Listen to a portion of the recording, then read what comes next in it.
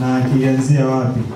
Uh, mwaka uh, kilianza zamani na chimbuko lake lilikuwa katika shule ya Sabato. Ilianza shule ya Sabato. Shule ya Sabato ilipoanza ikishirikiana pamoja na idara hii ya vijana, ndipo ambapo hawa vijana wawili ambao walianzisha hii idara ya vijana walianza harakati za kukifanya chama au idara ya vijana kwa ujumla kukua vizuri. Ah, mnamo mwaka 1852 ndipo ambapo mapema kabisa shule ya Sabato ilianza na ikishirikiana pamoja na watoto katika kuwafundisha ni namna gani ya kupeleka uinjilisti katika jamii mbalimbali na katika ulimwengu, na ndipo ambapo rahisi rais wa General Conference yeye ambapo alianzisha yeye White yeye ambaye alianzisha hii dawa pamoja na wenzake kwa ajili ya kujifunza vizuri, lakini mnamo mwaka 1879 hii 1852 ndipo ambapo shule ya Sabato ilianza kushirikiana na vijana, lakini mwaka 1879 ndipo ambapo tunamwona Henry Finley pamoja na mwenzake Ruta Warren ambao wao uh, huyu Henry Finley alikuwa na miaka 16 lakini huyu Ruta Warren yeye alikuwa na miaka 14. Wao ndipo walikuja na wazo, kwa sababu hii idara ya shule ya Sabato ilikuwa imeungana pamoja nao, lakini wao wakawaja na namna nzuri ya kuanzisha idara ya vijana, ila wao walitaka wajiite mission volunteer ambayo ni MV. Kwa kipindi kile ndipo ambapo walipeleka wazo lao kanisani kwamba sisi tunataka kuwa wamishonari wa kujitolea.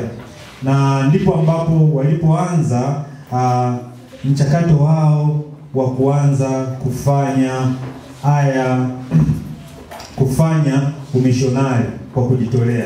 Hawa vijana wawili, mmoja akiwa na miaka kumi na sita na mwingine akiwa na miaka kumi na nne. Mwaka 1879 wao ndio walianzisha hii harakati, lakini hii chanzo cha idara ya vijana ikianzia mwaka 1852 kwenye historia idara ya vijana ndivyo ambapo tunaanzia kule, kwa sababu wao walianzisha uh, shule ya Sabato ikiwajumuisha watoto pamoja na vijana, na ndipo ilipofika hawa vijana wawili wakaona sasa, kwa sababu ni shule ya Sabato inahusisha kanisa zima, lakini kama sisi vijana tuna wajibu wa kufanya na sisi tunatakiwa tufanye nini? Tuanzishe uh, mpango wetu na sisi kama ambavyo shule ya Sabato ilianzishwa. Kwa kama shule ya Sabato ilianzishwa mwaka 1852 wao walianza harakati sasa kuanzisha idara ya vijana mwaka 1879. Huyu uh, Harry Finley pamoja na Luther Warren walianzisha hii idara ya vijana, ndipo ambapo walianza, lakini walikubaliwa na kanisa na wao waliitwa mission volunteer, yani MV. Uh, siku zilivyozidi kwenda mwaka 1889 hii ilikuwa wao 79, lakini ilipofika miaka kumi mbeleni ndipo ambapo waliipeleka sasa General Conference. Walipopeleka General Conference ikapitishwa, lakini ilikuwa katika sehemu ndogo sana ambao waliita Christian volunteer, yani watu wanaojitolea kwa ajili ya Kristo. Kutoka MV kwenda Christian volunteer. Huo uh, mwaka 1889.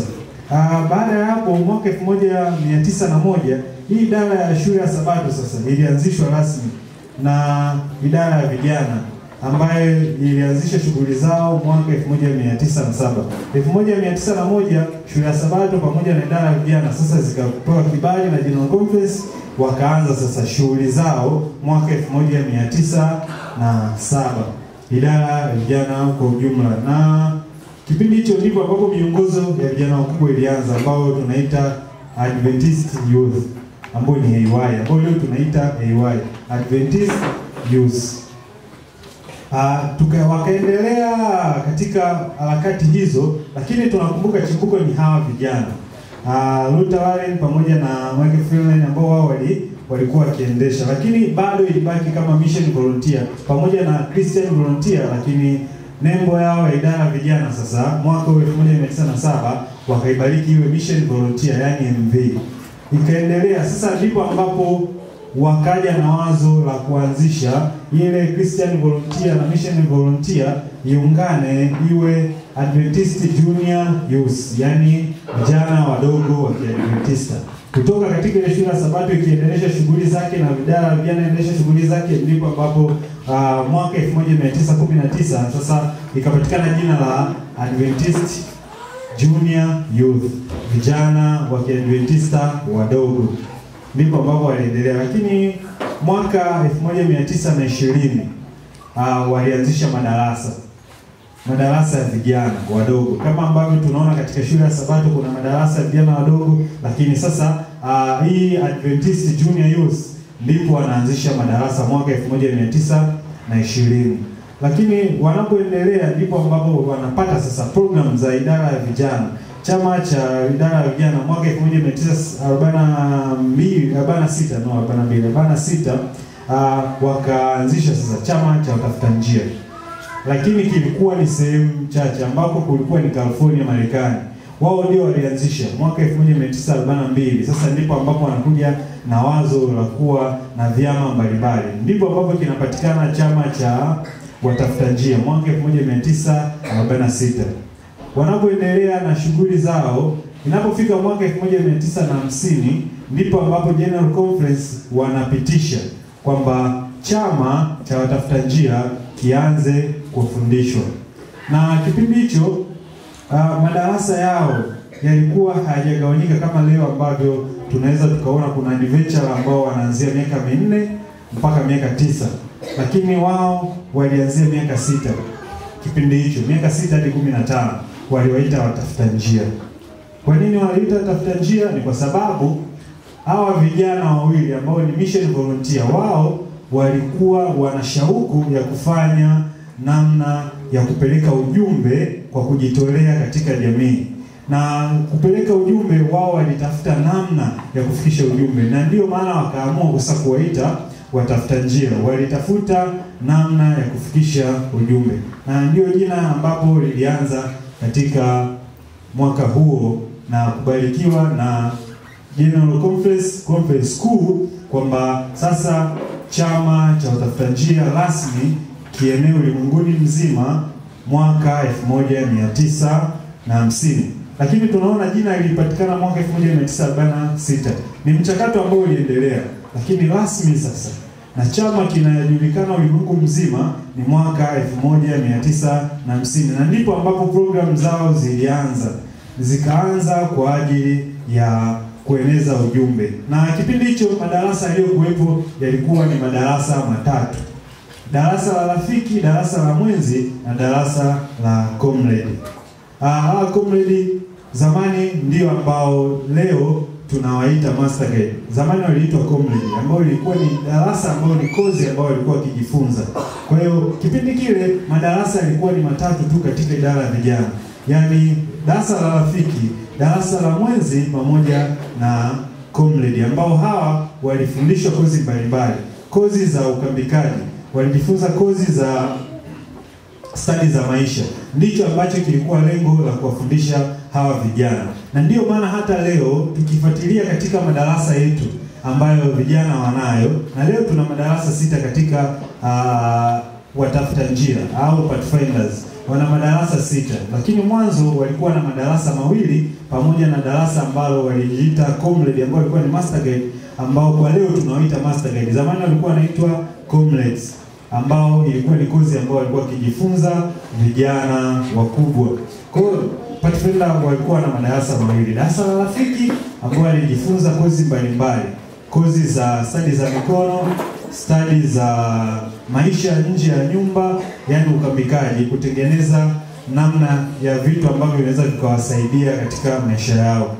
Na kwa madarasa yalikuwa ni mawili tu, lakini siku zilivyozidi kwenda uh, ndipo ambapo jina la watafuta njia lilipokuwa likiendelea, tukapata bendera, bendera ambao ni nembo. Hii ni nembo ambayo ilitengenezwa na ni mchoraji mmoja ambaye alikuwepo, akawaza hawa watafuta njia tutawatengenezea nini ambacho kitawawakilisha. Nini kitawawakilisha? ni nembo ya pembe tatu ambayo tunaiona wamevaa katika kofia au katika mabega yao ya kulia, ambayo ni hii pembe tatu. Uh, hii pembe tatu ina imeandikwa Pathfinders. Uh, inamaanisha utatu mtakatifu, na katikati hapa kuna upanga. Huu upanga unawakilisha neno la Mungu. Huyu mchoraji ndicho alichokuwa kikiwaza, na katikati unapoona weupe ni ngao, ni ngao ambayo inatulinda, inaonyesha ulinzi. Kwa hiyo na tukiangalia kuna rangi nyekundu, maana yake ni damu ya Yesu Kristo, kwamba kwa ukiona nembo hii ya watafuta njia ilipotengenezwa, maana yake ilikuwa ndiyo hiyo, na njia ambayo ilianzisha hiki chama ni kwa ajili ya kuwafanya vijana wamtafute Yesu Kristo na kuwafanya vijana wawe wamishonari wa kujitolea na kuwafanya vijana waende katika imani ya misingi ya kanisa na kuwavuta wenzao kuja kwa Yesu Kristo. Ndicho ambacho na ndicho ambayo ilikuwa lengo la hawa vijana na chama hiki kwa ujumla kuanzishwa. Uh, leo kwa fupi tutajifunza uh, maana ya nembo hii nembo ambayo naiona hapa ya watafuta njia, ambayo tumejifunza historia kwa ufupi na tutajifunza nembo. Kwa hiyo tutakuwa tunagusa vitu vichache vichache, kwa sababu tunawafahamu watafuta njia. Uh, nembo ya chama cha watafuta njia ina vitu nane uh, vitu nane muhimu ambavyo tutajifunza. Uh, ina rangi nne chama cha watafuta njia, ina nembo ya chama cha watafuta njia ambayo ina rangi nne: nyekundu, dhahabu, nyeupe na bluu. Hii ni bendera yao. Sorry, hii ni bendera yao. Uh, pia ina umbo la pembe tatu. Uh, ina vilivyo kwenye nembo, vitu vilivyo kwenye nembo, ina ngao, ina upanga, ina maandishi ya Pathfinder Club au Adventist Junior Youth. Zamani kuna kuna bendera ambazo ziko za tafajia za zamani ambao labda watu wale wa zamani wanazifahamu, zilikuwa zimeandikwa AJY Adventist Junior Youth, lakini leo zimebadilishwa zimeandikwa Pathfinder, lakini ilikuwa ni wadre, eh, Adventist Junior Youth, vijana wadogo wa Kiadventista. Ah, tutajifunza hizi rangi. Rangi nyekundu ambayo nimesema inawakilisha ah, damu ya Yesu Kristo. Hapa tutaona katika ile Ufunuo no, Yohana tatu fungu la kumi na sita. Nafahamu hili fungu wote tunalifahamu, ni namna gani ambavyo hii idara ya vijana inajihusisha. Kila kilichopo katika sare za idara ya vijana kina maana. Kwa hiyo rangi nyekundu inawakilisha Yesu Kristo, ambayo tunajifunza katika, inakumbusha juu ya Yesu Kristo alivyotoa maisha yake uh, juu yetu uh, kwa maana jinsi Mungu aliupenda ulimwengu akamtoa mwanao pekee ili kila mtu amwaminie asipotee. Kwa ni namna ambavyo inawakilisha hii damu ya Yesu Kristo, Yesu alivyojitoa maisha yake kwa ajili yetu. Uh, sisi tulio ujenzi wa ubora inayowezesha watafuta njia sio tu kuishi kwa ubora hapa duniani bali kuwafanya wafanye uh, kufanya ubora wao katika ufalme wa mbinguni. Kwa hiyo rangi ya njano inawafanya wao wawe bora katika maisha hapa duniani na katika maisha ya mbinguni. Uh, rangi nyeupe hii inamaanisha usafi. Hii inamaanisha juu ya usafi. Uh, usafi kwamba Yesu ndiye ambaye anatuvika hayo mavazi meupe katika kile kitabu cha Ufunuo tatu fungu la tano ambayo Yesu anashindaye ana, nitamvika hayo mavazi meupe. Kwa hiyo Yesu ndiye anayetuvika sisi usafi. Kwa hiyo yeye ashindaye ndiye atakayemvika mavazi meupe. Soma Ufunuo tatu fungu la tano. Rangi ya bluu hii inatufundisha ni utii, utii. Kusudi la chama cha watafuta njia ilitufundisha kuwa watii kwa wakubwa zetu, kwa Mungu wetu na kwa jamii, kwa sababu tunakwenda kufanya kazi kwa kujitolea. Kwa hiyo tunapaswa kuwa watii. Uh, kusudi la chama cha Tafuta njia kutusaidia na kufundisha uh, kuwa watii kwa wazazi wetu, kanisa letu na Mungu wetu wa mbinguni. Sasa uh, tunakuja kwenye umbo la pembe tatu. Uh, linatufundisha mawazo mawili muhimu. Umbo la pembe tatu linatufundisha mawazo mawili muhimu. Moja ni ukamilifu wa uungu katika nafsi tatu. linatufundisha ukamilifu wa uungu katika nafsi tatu. Pili ni mafiga matatu yanayokamilisha elimu ambayo inajenga wanadamu kimwili, kiakili na kiroho.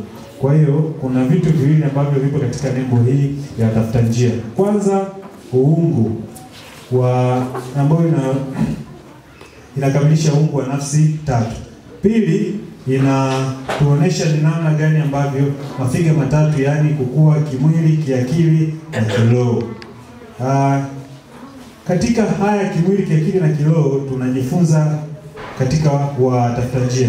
Kimwili tunazo kazi ambazo zinawafanya watoto wakue kimwili. Kwa mfano, kuna mazoezi, kuna maburudisho, kuna kazi ambazo wanapewa zinawajenga kimwili.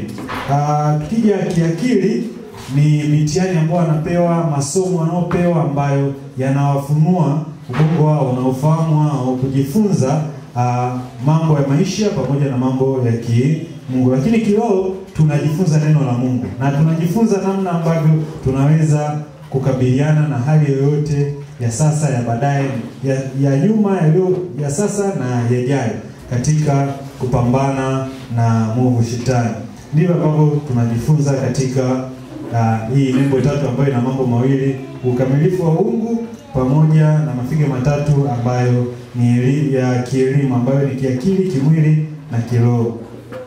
Uh, nembo hii ina upanga, ina upanga. Uh, upanga ni silaha inayosimama kuwakilisha Biblia, yaani neno la Mungu. Uh, ni silaha yetu vitani ambayo uh, tunayotumia dhidi ya, ya kujifunza neno la Mungu. Mtume Petro anasema upanga wa Roho ni neno la Mungu. Upanga wa Roho ni neno la Mungu. Katika kile kitabu cha Waefeso Waefeso 6 fungu la 17 ndipo ambapo tunamwona Mtume Paulo anatuonesha upanga ni neno la Mungu. Kwa hiyo vitu ambavyo tunajifunza katika huduma ya watafuta njia ni vitu ambavyo vinarelate na neno la Mungu. Kwa hiyo upanga, ukiona nembo hii, jua vitu hivi ambavyo nafafanua ndivyo ambavyo vinamaanisha.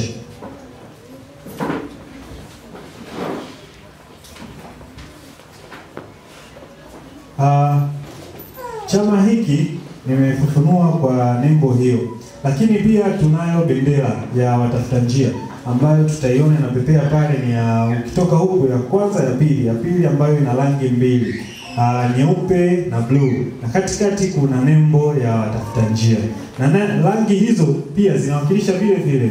Uh, rangi nyeupe ni usafi na rangi ya bluu ni utii, kama ambavyo tunaona katika tulivyojifunza hapo awali, na ndivyo ambavyo bendera yetu inawakilisha. Kila bendera unaiona pale ina maana yake na rangi zake zina maana yake. Kwa hiyo leo tutajifunza katika watafuta njia, ambao rangi zipo mbili, moja nyeupe na bluu, na katikati kuna nembo ya watafuta njia ambayo nimekwisha kuifafanua hapa.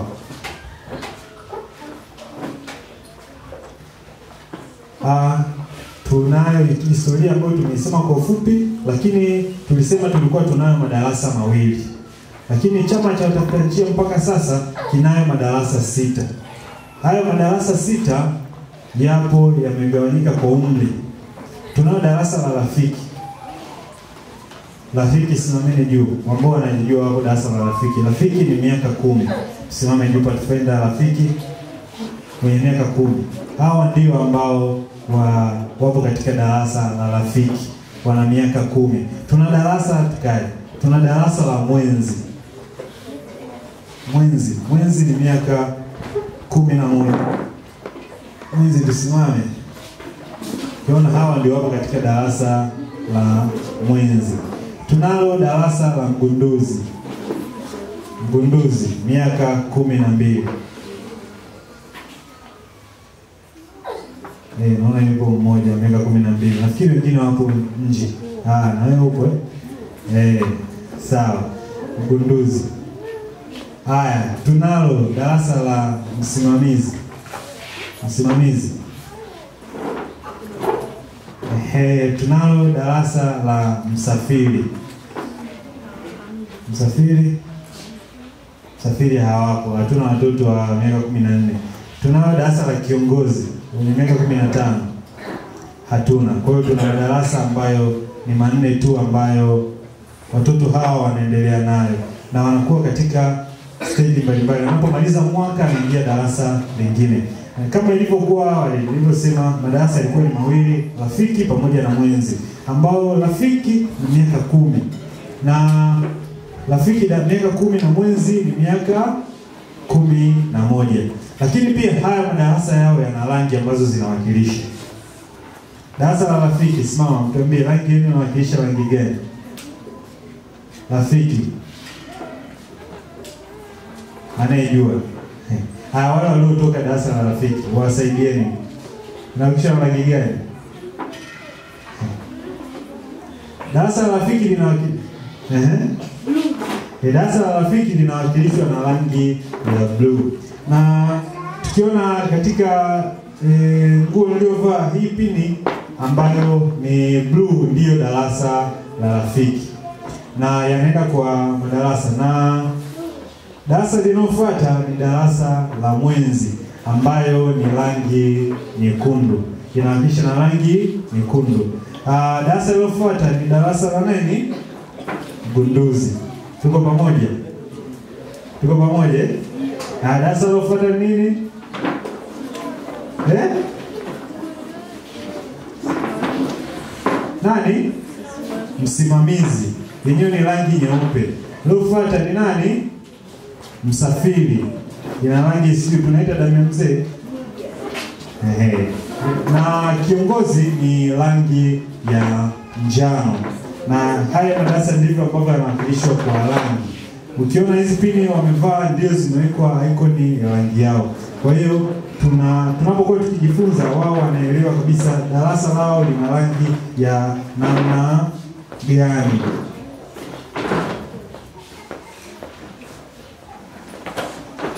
Lakini katika hiki chama tuna tunayo falsafa ambayo sisi tunatembea nayo kama watafuta njia.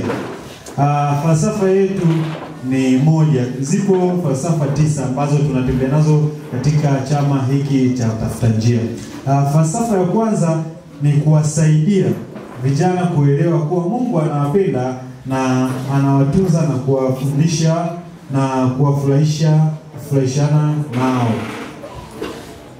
Kuwasaidia vijana kuelewa kuwa Mungu anawapenda na anawatunza na kuwafurahisha kwamba wao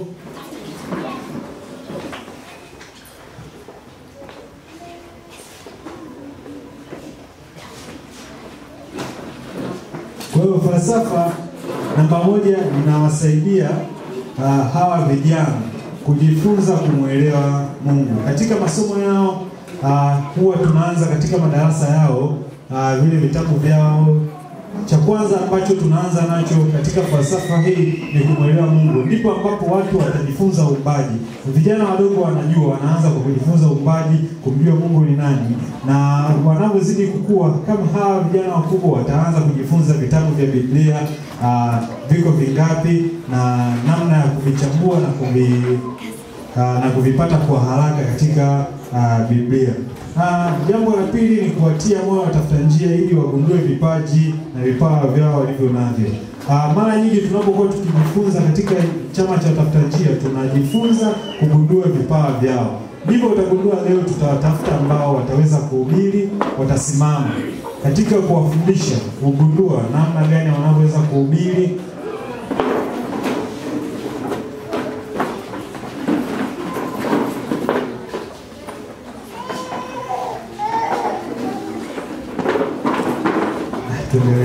Ah, kutambua vipawa vyao.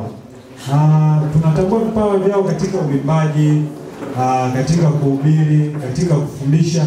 Leo tunao watoto ambao wameanzishwa katika klabu ya wahubiri, wahubiri wale ambao wapo, wengine leo watakuja katika kuhubiri. Wapo ambao wapo katika klabu ya uimbaji ambao wao wanajifunza kipaji cha uimbaji. Kwa hiyo tunapokuwa tunafundisha falsafa yetu ni kuibua vipaji vyao. Kwa vipaji vyao kuna wale ambao tunajua huyu tukikaa naye huyu ni mhubiri, huyu ni mwimbaji na huyu ni mwalimu. Na tunao ambao wao tumeshaanzisha taratibu za wao kuhubiri, wengine tumeshaanza kuwapatia madarasa kwa ajili ya kufundisha.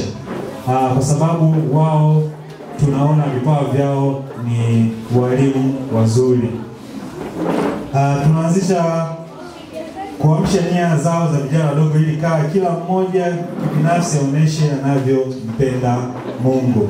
Tuna tunaamsha nia zao kuonesha namna gani kila mmoja anavyoweza kumpenda Mungu. Kwa kila mmoja ana namna ambavyo anaweza akawa anaweza akawa na shauku ya kuitenda kazi ya Mungu. Kwa hiyo tunafanya namna ambavyo wao wanaweza kuwa na shauku. Wapo ambao wanatamani, wanakuwa na mawazo mapana, tunawafungua ubongo na wao wanakuwa na mawazo mapana kwa ajili ya kusaidia katika kuamsha nia zao za kumwonyesha na kunamna ya kumpenda Mungu. Kipaumbele cha chama hiki ni kumfanya kijana mmoja mmoja aone anavyookolewa. Kipaumbele chetu ni kumfanya, na ndio maana nasema Aa, katika moto pamoja na lengo na kusudi yanaonyesha ni namna gani ambavyo wanaweza ujenzi wa ubora inayowezesha watafuta njia sio tu kuishi kwa ubora hapa duniani bali kuwafanya wafanye uh, kufanya ubora wao katika ufalme wa mbinguni. Kwa hiyo rangi ya njano inawafanya wao wawe bora katika maisha ya hapa duniani na katika maisha ya mbinguni. Uh, rangi nyeupe hii inamaanisha usafi. Hii inamaanisha juu ya usafi.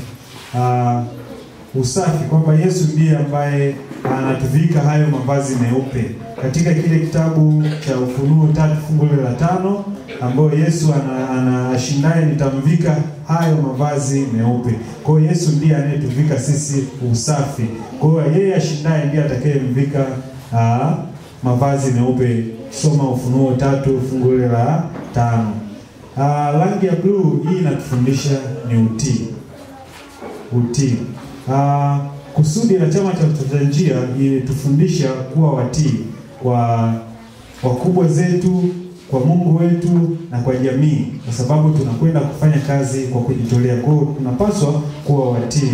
Uh, kusudi la chama cha Tafuta njia kutusaidia na kufundisha uh, kuwa watii kwa wazazi wetu, kanisa letu na Mungu wetu wa mbinguni. Sasa uh, tunakuja kwenye umbo la pembe tatu. Uh, linatufundisha mawazo mawili muhimu. Umbo la pembe tatu linatufundisha mawazo mawili muhimu. Moja ni ukamilifu wa uungu katika nafsi tatu. Linatufundisha ukamilifu wa uungu katika nafsi tatu. Pili ni mafiga matatu yanayokamilisha elimu ambayo inajenga wanadamu kimwili, kiakili na kiroho.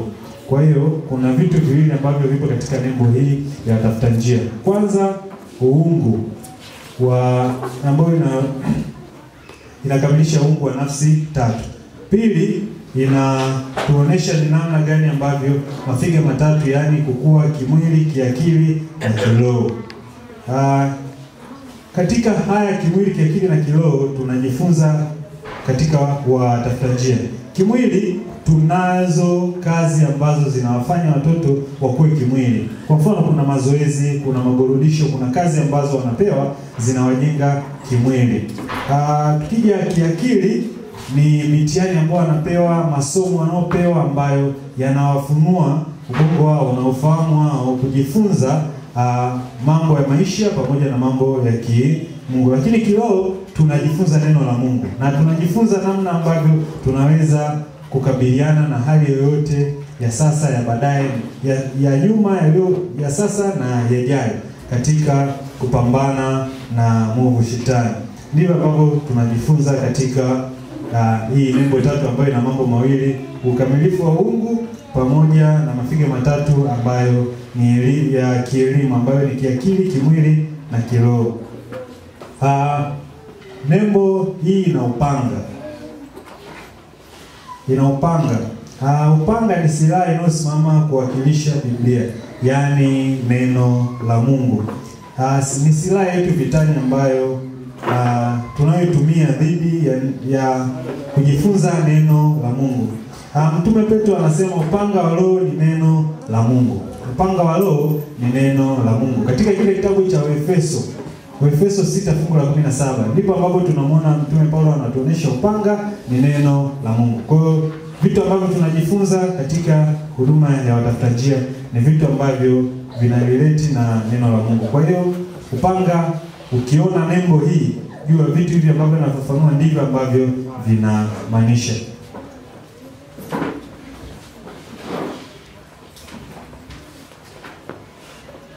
Uh, chama hiki nimefufunua kwa nembo hiyo, lakini pia tunayo bendera ya watafuta njia ambayo tutaiona inapepea pale, ni ya ukitoka huku, ya kwanza, ya pili. Ya pili ambayo ina rangi mbili, uh, nyeupe na bluu, na katikati kuna nembo ya watafuta njia, na rangi hizo pia zinawakilisha vile vile.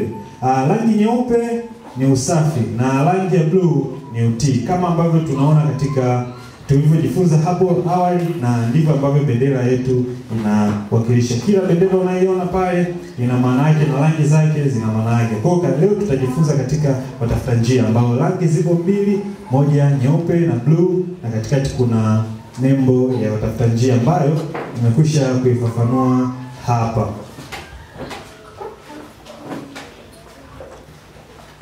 Ah, tunayo historia ambayo tumeisema kwa ufupi, lakini tulisema tulikuwa tunayo madarasa mawili, lakini chama cha watafuta njia mpaka sasa kinayo madarasa sita. Hayo madarasa sita yapo yamegawanyika kwa umri. Tunayo darasa la rafiki. Rafiki, simameni juu, ambao wanajijua wako darasa la rafiki. Rafiki ni miaka kumi. Simame juu, patufenda rafiki kwenye miaka kumi. Hawa ndio ambao wa, wapo katika darasa la rafiki, wana miaka kumi. Tuna darasa tukae, tuna darasa la mwenzi. Mwenzi, mwenzi ni miaka kumi na moja. Mwenzi, tusimame. kiona hawa ndio wapo katika darasa la mwenzi. Tunalo darasa la mgunduzi. Mgunduzi miaka kumi na mbili. Eh, naona yuko mmoja miaka kumi na mbili. Nafikiri wengine wapo nje. Ah, na wewe upo eh? Eh, sawa. Mgunduzi. Haya, tunalo darasa la msimamizi. Msimamizi. Ehe, tunalo darasa la msafiri. Msafiri. Msafiri hawapo. Hatuna watoto wa miaka kumi na nne. Tunalo darasa la kiongozi wenye miaka kumi na tano hatuna. Kwa hiyo tuna madarasa ambayo ni manne tu ambayo watoto hawa wanaendelea nayo na wanakuwa katika stage mbalimbali. Wanapomaliza mwaka anaingia darasa lingine, kama ilivyokuwa nilivyosema, madarasa yalikuwa ni mawili, rafiki pamoja na mwenzi, ambao rafiki ni miaka kumi na rafiki da miaka kumi na mwenzi ni miaka kumi na moja lakini pia haya madarasa yao yana rangi ambazo zinawakilisha. Darasa la rafiki, simama mtuambie rangi yenu inawakilisha rangi gani? Rafiki anayejua. Haya, wale waliotoka darasa la rafiki wawasaidieni, inawakilisha rangi gani? Darasa la rafiki linawakilisha ehe, darasa la rafiki linawakilishwa na rangi ya bluu na tukiona katika nguo e, uliovaa hii pini ambayo ni bluu ndiyo darasa la rafiki, na yanaenda kwa madarasa, na darasa linalofuata ni darasa la mwenzi ambayo ni rangi nyekundu, inaanisha na rangi nyekundu. Darasa linalofuata ni darasa la nani? Gunduzi. Tuko pamoja? Tuko pamoja? Na darasa nini? Eh? Nani? Msimamizi. Yenyewe ni rangi nyeupe. lofuata ni nani? Msafiri. Ina rangi sio tunaita damu mzee. Ehe. Na kiongozi ni rangi ya njano. Na haya madarasa ndivyo ambavyo yanawakilishwa kwa rangi. Ukiona hizi pini wamevaa ndio zimewekwa ikoni ya rangi yao. Kwa hiyo tuna tunapokuwa tukijifunza, wao wanaelewa kabisa darasa lao lina rangi ya namna gani.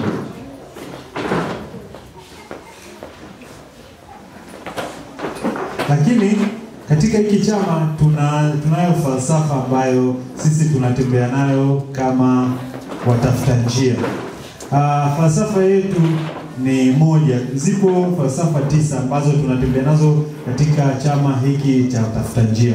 Uh, falsafa ya kwanza ni kuwasaidia vijana kuelewa kuwa Mungu anawapenda na anawatunza na kuwafundisha na kuwafurahisha kufurahishana nao. Kuwasaidia vijana kuelewa kuwa Mungu anawapenda na anawatunza na kuwafurahisha kwamba wao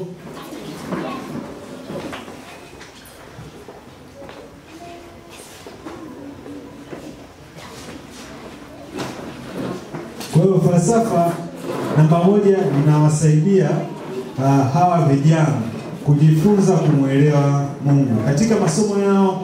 Uh, huwa tunaanza katika madarasa yao uh, vile vitabu vyao. Cha kwanza ambacho tunaanza nacho katika falsafa hii ni kumwelewa Mungu, ndipo ambapo watu watajifunza uumbaji. Vijana wadogo wanajua, wanaanza kwa kujifunza uumbaji, kumjua Mungu ni nani, na wanavyozidi kukua, kama hawa vijana wakubwa wataanza kujifunza vitabu vya Biblia, uh, viko vingapi na namna ya kuvichambua na kuvi na kuvipata kwa haraka katika uh, Biblia. Uh, jambo la pili ni kuwatia moyo watafuta njia ili wagundue vipaji na vipawa vyao walivyo navyo. Mara nyingi tunapokuwa tukijifunza katika chama cha watafuta njia tunajifunza kugundua vipawa vyao. Ndivyo utagundua leo tutawatafuta ambao wataweza kuhubiri, watasimama katika kuwafundisha, kugundua namna gani wanavyoweza kuhubiri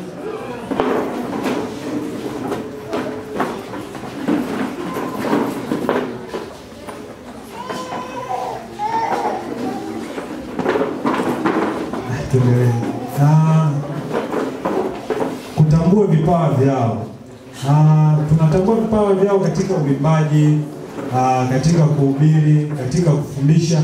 Leo tunao watoto ambao wameanzishwa katika klabu ya wahubiri wahubiri wale ambao wapo, wengine leo watakuja katika kuhubiri. Wapo ambao wapo katika klabu ya uimbaji ambao wao wanajifunza kipaji cha uimbaji. Kwa hiyo tunapokuwa tunafundisha falsafa yetu ni kuibua vipaji vyao. Kwa vipaji vyao kuna wale ambao tunajua huyu tukikaa naye, huyu ni mhubiri, huyu ni mwimbaji na huyu ni mwalimu, na tunao ambao wao tumeshaanzisha taratibu za wao kuhubiri, wengine tumeshaanza kuwapatia madarasa kwa ajili ya kufundisha. Aa, kwa sababu wao tunaona vipawa vyao ni walimu wazuri. Aa, tunaanzisha kuamsha nia zao za vijana wadogo ili kaa kila mmoja kibinafsi aoneshe anavyompenda Mungu. Tuna tunaamsha nia zao kuonesha namna gani kila mmoja anavyoweza kumpenda Mungu. Kwa kila mmoja ana namna ambavyo anaweza akawa anaweza akawa na shauku ya kuitenda kazi ya Mungu. Kwa hiyo tunafanya namna ambavyo wao wanaweza kuwa na shauku. Wapo ambao wanatamani, wanakuwa na mawazo mapana, tunawafungua ubongo na wao wanakuwa na mawazo mapana kwa ajili ya kusaidia katika kuamsha nia zao za kumwonyesha na kunama na kumpenda Mungu. Kipaumbele cha chama hiki ni kumfanya kijana mmoja mmoja aone anavyookolewa. Kipaumbele chetu ni kumfanya, na ndio maana nasema Aa, katika moto pamoja na lengo na kusudi yanaonyesha ni namna gani ambavyo wanaweza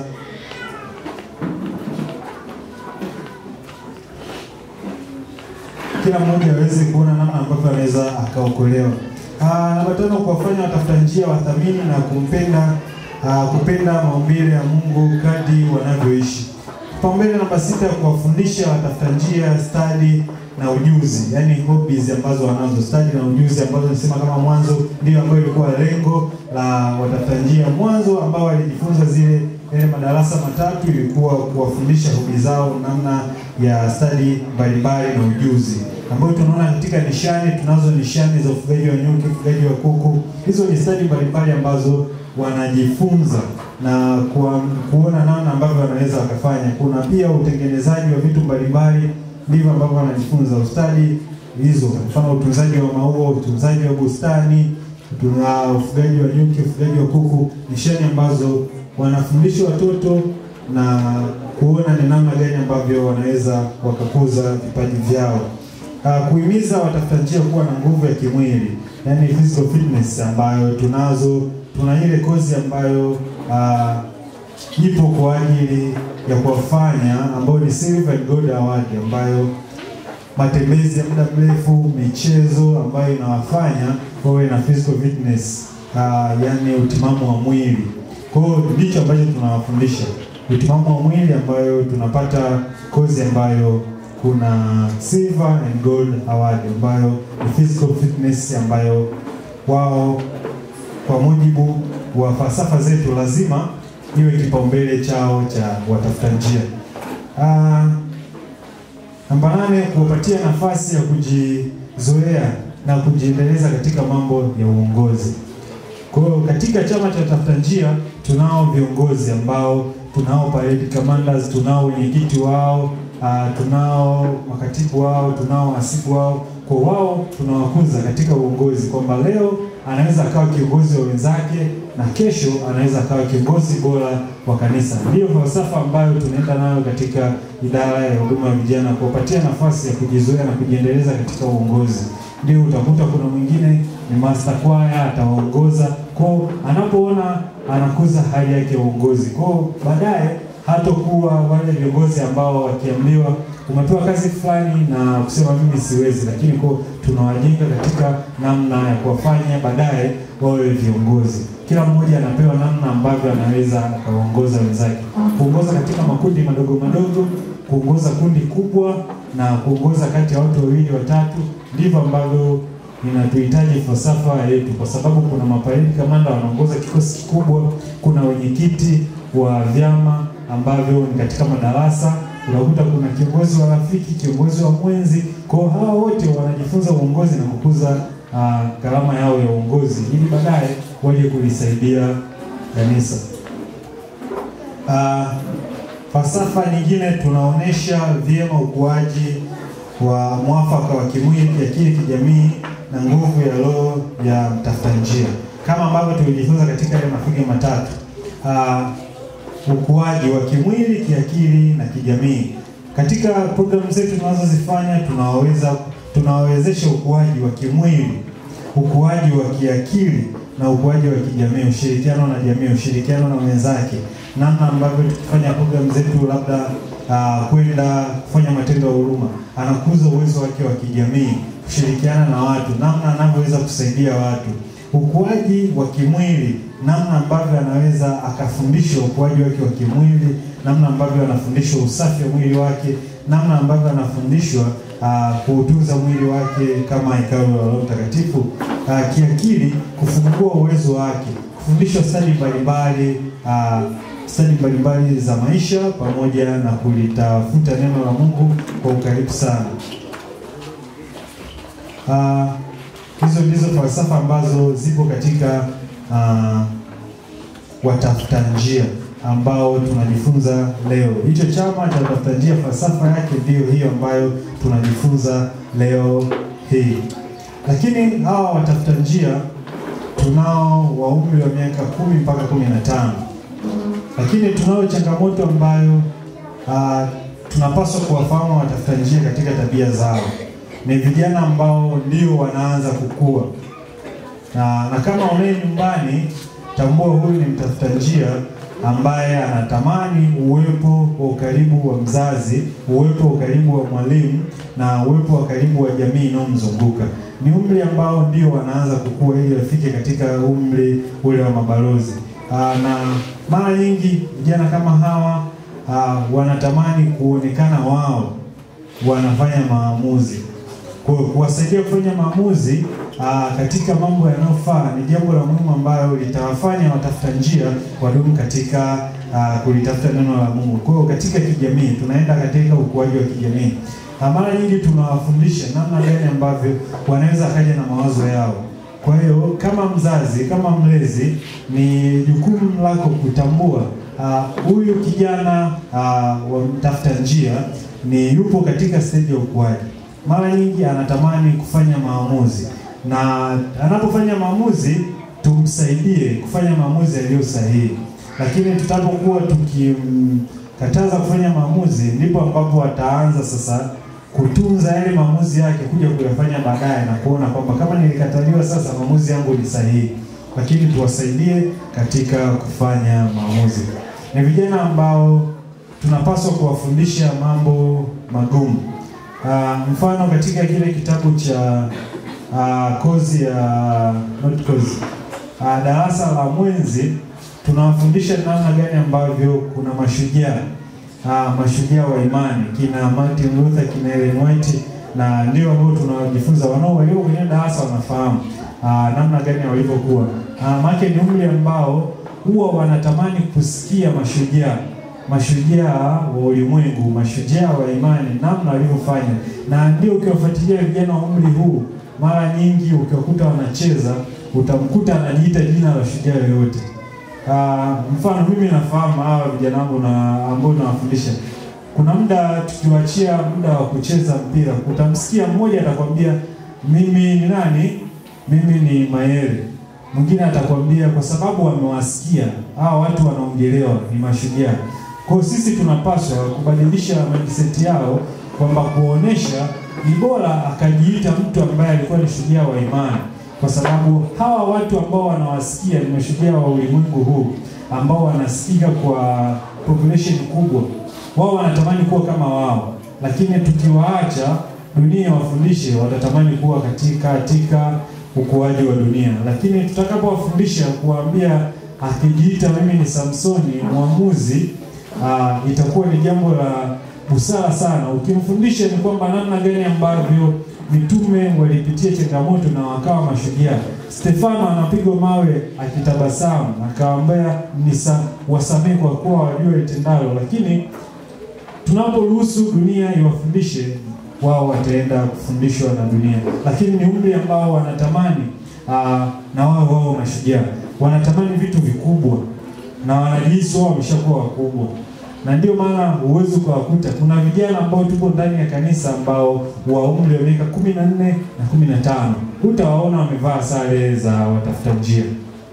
Wakifikia miaka kumi na tatu wanaona hapa, mimi nimemaliza chama cha watafuta njia. Tunao na mi naamini ninachokisema, wazazi wapo wanashuhudia. Kuna mwingine unaweza ukakuta mfikia umri atawaona hawa sio saizi yangu tena, yaani atawaona mtu umri wa miaka kumi na nne kumi na tano hata utamani kuvaa sare kama alizovaa labda Penina, hawezi akatamani. Kwa wapo, hata kama utamlazimisha utamwona ana, anafanya kwa kwa yani kwa sababu umesema. Lakini tutakapokuwa tukiwafundisha kwa uzuri hawa watafuta njia, tukiwaambia toka utotoni mwao, tukaendelea katika mwendelezo mzuri, ushirikiana wazazi pamoja na walimu, tutawaona vijana wa miaka kumi na 15 na hata leo miaka kumi na tatu wengi wameanza kuondoka. Kwa hiyo tukianza tunawapata Pathfinder, mara nyingi makanisa mengi tutawapata Pathfinder miaka kumi, kumi na moja, kumi na mbili miaka kumi na tatu na wenyewe wanaanza kujiona ni wakubwa. Ah, miaka kumi na nne wanaanza kujiona ni wakubwa, miaka kumi na tano wanaanza kujiona ni wakubwa. Lakini na hata sisi katika miongozo yetu, wao vitu tunavyofundisha ni vitu vya wakubwa, yani material yale ambayo ni magumu, ambayo tunapaswa kuwafundisha. Miongozo yao ipo, na hata tukikupatia leo mzazi, ukisoma utagundua ni namna gani ambavyo unapaswa kuendelea kukaa nao hawa watoto kuwafundisha. Lakini tukiwaacha tukasema acha waendelee, watajifunza labda akija. Ndiyo maana ambao tunawakuta ni wale vijana ambao wanaachiliwa kwanza kuja kanisani, na hata wakija hawatotaka kwenda kwenye darasa lolote.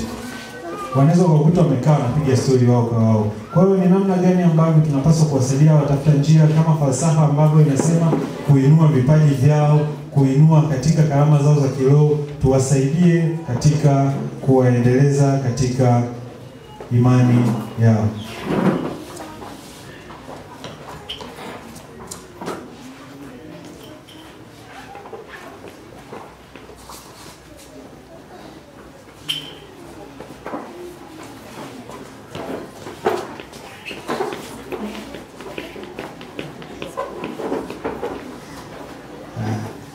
Kwa hawa watafuta njia ni watu ambao ndio kanisa ambalo tunapaswa kusimama nalo kwa sasa, na siku ya leo wanapotimiza miaka sabini na nne tunatambua ni vijana ambao uh, walioanzisha ni vijana wa umri wao, vijana wa umri wao sahihi kabisa. Ni vijana walioanzisha walikuwa na umri wa miaka 14 na 16, na chama kilikuwa kinawatambua vijana wa umri huo kama vijana watafuta njia. Kama zamani ilivyokuwa, ilikuwa nafika hadi miaka 16, hawa walikuwa ni wanatafuta njia, kwa sababu ya wale ambao walianzisha chama hiki ambao walikuwa na umri wa miaka 14 na kumi na sita, lakini tunatambua hawa wao walikuwa na nia ya kufanya uinjilisti.